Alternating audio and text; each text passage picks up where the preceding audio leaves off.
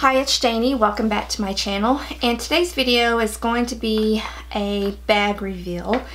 And I probably have never ever told you guys that my second passion or first passion, I guess actually that it would be tied with makeup, would be my love for handbags. Um, at one time, my handbag collection was probably over 200 pieces and that included, you know, Coach, Brahmin, Dooney, Michael Kors, that type. And I had always wanted um, a Louis Vuitton. And then back in July, when we went to Vegas, I ended up buying, purchasing a pre-loved Speedy. And I love my Speedy, and I'm so glad I have it because that was probably one of the very first Louis Vuitton handbags that I probably lusted after for years and years and years have purchased um, lookalikes or inspired type bags you know that's kind of the same shape as a, a Speedy but not that brand. Anyway so I got the Speedy. I love using it. The issue that I'm having with it is that most of the time during the week I have my grandbaby with me. She's eight months old and I have her in her carrier then I have the diaper bag and then I would have my Speedy and then I would have my um, my separate um, bag that I had my laptop in and any paperwork that I need to transport back and forth between home and work.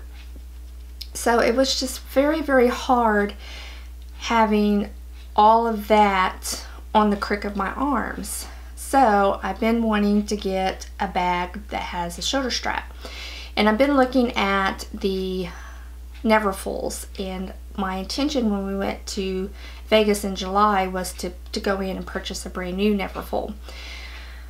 But then my husband kind of talked me out of it and said, no, need to look around, see if you can find one, you know, that's been slightly used and, and save some money. Anyway, that's a whole other story. So I've been looking at Neverfulls, uh, looking at buying a pre-loved Neverfull. And the issue that I have noticed with the pre-loved Neverfulls and with the Neverfull in general is that even though it was designed and meant to be able to carry up to 200 pounds, all of the pre-loved ones that I have been looking at in the price range that I wanted to stay within had shown a lot of um, signs of wear and tear.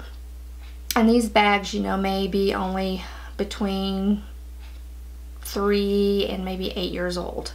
So the lifespan to me on the Neverfull is not that great.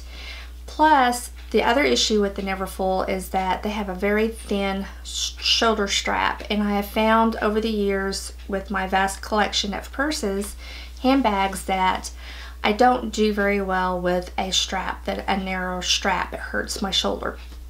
And then the other issue with the Neverfull, obviously, is that it is just an open bag. There's no way to close it. I mean, it doesn't have a zipper, so there's no way to secure your items that are inside. So, I kind of, as I'm looking, I'm thinking, well, maybe I don't need a Neverfull. Obviously, I don't because I can't find one that I like. So I started looking at a different avenue or different type of style of Louis Vuitton. And I started going from the pre-loved route to the vintage route. And to me, you know, pre-loved is a handbag that's been used, you know, maybe a couple years, three years, four years, maybe even five years, that has um, minimal wear to it. A vintage bag to me is a bag that is, you know, at least 10 years, if not older. So I started looking at the, the vintage category of the Louis Vuitton and started noticing and been watching um, YouTube videos on vintage handbags, Louis Vuitton, and a lot of people were getting the um, the Noe or the Noah or the Noe. I do believe that it, it, the spelling is N-O-E and it's French for mean to mean Noah. But everyone has been pronouncing it Noe. But anyway, um, so I started looking down that avenue for that bag because everyone that was showing their Noah that they had purchased as vintage was, you know, 15, 20 years old and was in, you know, pretty good shape. It seemed to be holding up over time and holding its, its um, shape and it's not worn. So I started looking for a pre-loved or a vintage Noe.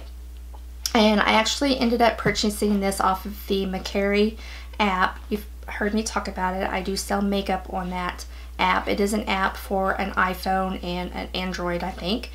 You can um, sell and purchase items on that app. All kinds of stuff you can get. And I, you have the choice when you sell of just keeping the money on your Mercari account or having it deposited into your bank account.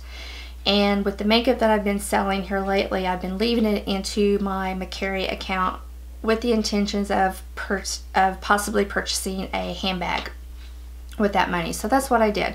So I sold a bunch of makeup that was just sitting in my drawer, not being used, and have purchased this bag here that I'm going to show you. We'll get down to it. And if you're familiar with, Louis Vuitton, you already know what this bag looks like. It is a pretty substantial size bag.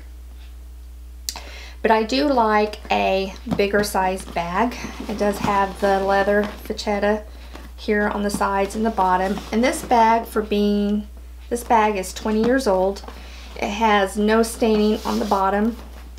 There's no staining on the sides. There's a little bit of scuffing on the corners, but not very much at all. Um, the handles is in perfect condition. I did, this was separate. This is a, um, a luggage tag that I put on there, and it's a drawstring um, bag. The drawstring was in very good condition also, and there was no tears or cracks in the canvas. And the reason why I decided to get this is because, you know, one, it has a very good, wide, thick strap that I think will be very comfortable on the shoulder. It's adjustable, so you can definitely, you know, uh, make it shorter or longer. I prefer it on the shorter side. And it's designed to just throw your, your products in here and then let them kind of build up. I have in here a um, my purse organizer that I purchased for my Speedy. I have that in here so everything's just not a jumbled, jumbled up. Anyway, this bag was created in this style of bag, not this particular bag. This style of bag was created in 1932. There was a particular um, champagne house that approached um, Louis Vuitton and asked them to create them a bag that they could carry champagne, five bottles of champagne in. And that's how this bag was created. You can carry five bottles of champagne, um, four bottles um, standing up, and then one bottle um, facing down. So if I ever want to go to a very nice party and um, take some champagne, I could carry it in this bag. No, not going to happen. But anyway, yesterday was the first day that I carried it. I love it.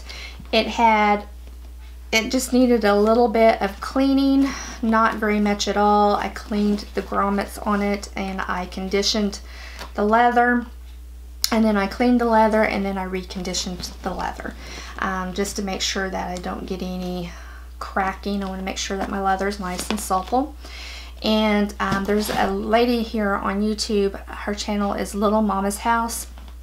And she has some wonderful tutorials on how to clean um, and restore vintage Louis Vuittons and from watching those it kind of gave me the confidence to go ahead and get a vintage piece knowing that if worse came to worse on what I found, I could always send it to her and have her refurbish it and paint it for me. But this, the leather in this on this is perfect. It's the perfect honey patina. I don't have to worry about um, it being the raw leather like it would be brand new. And so I don't have to worry about, you know, worrying about how it's going to patina. It's already done very nicely.